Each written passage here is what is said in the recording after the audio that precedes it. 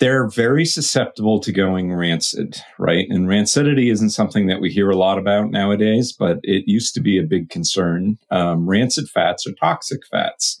You want to avoid eating things that are toxic, and seed oils are, of all the fats that we consume, the most likely to go rancid and become toxic.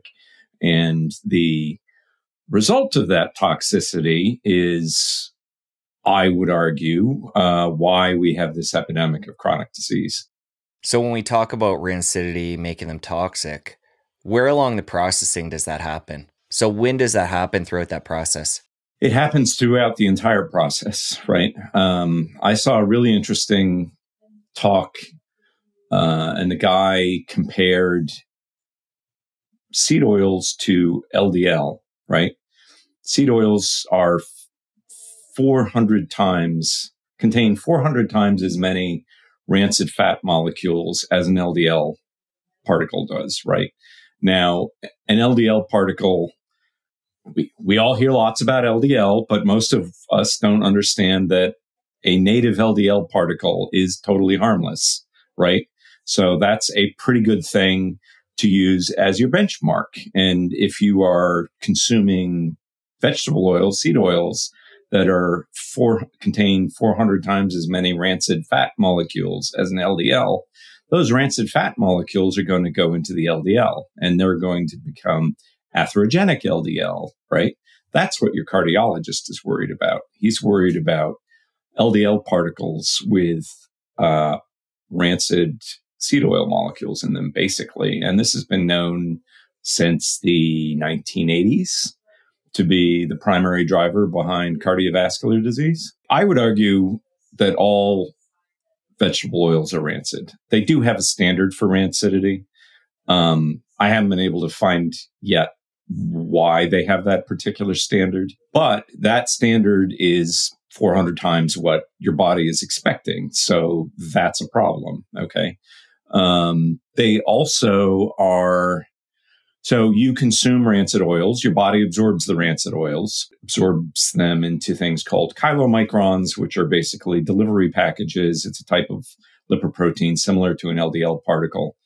And it shunts these into your bloodstream. And the first place that they go is to your heart, right? Your heart loves fat for fuel. So when you eat fat, your heart gets first dibs on the fat. So if you're eating rancid, toxic fats, obviously having that bolus go straight into your heart first place is not exactly ideal.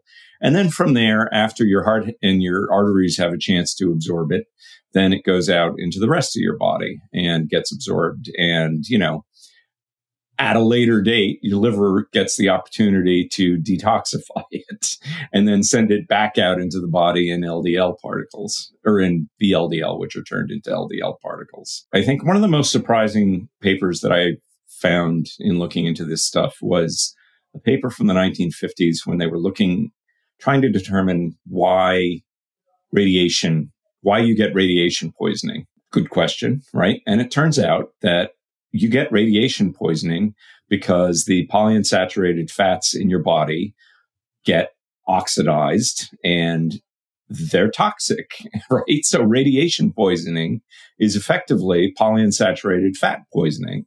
And they took these rodents and they injected, so the primary fat molecule in seed oils is a fat called linoleic acid. They injected rancid linoleic acid, linoleic acid hydroperoxide into these rodents and it killed them very effectively. Since the 1950s, it's been understood exactly how toxic these are. In fact, they've used it as I saw another paper that made me very mad when I first saw it. And after a while, I realized it made a lot of sense.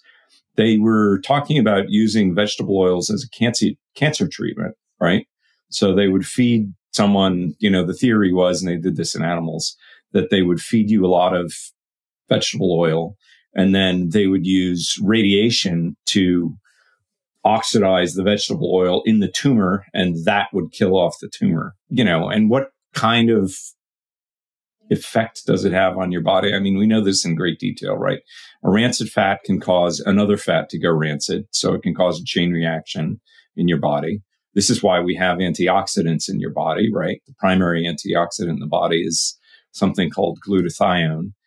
And if you, for instance, have an animal that can't make glutathione, it won't be born because the uh, lipid peroxidation, you know, is the term for rancidity, is so to- is you know, if you don't have a way to break it, break the chain reaction, it will kill you quite quickly, right? So if you are unable to make glutathione, you're not going to be born because you will die in the die in the uterus. So it can cause other fats to become rancid. The rancid fats can go and damage proteins. It can damage DNA, you know, pretty much any other molecule in the vicinity is going to be susceptible to the effects of these toxic rancid fats. So, for instance, one of the more gee whiz, that's terrible things I saw is there's a paper talking about how people can become allergic to their own DNA, right? That's horrible. And they're not really becoming allergic to DNA. It's that these rancid fats are binding to DNA and the body sees these rancid fats essentially as indicative of a bacterial infection. And so just like with poison ivy, which is also caused by rancid polyunsaturated fats, right? The, the poison ivy rash is the same process.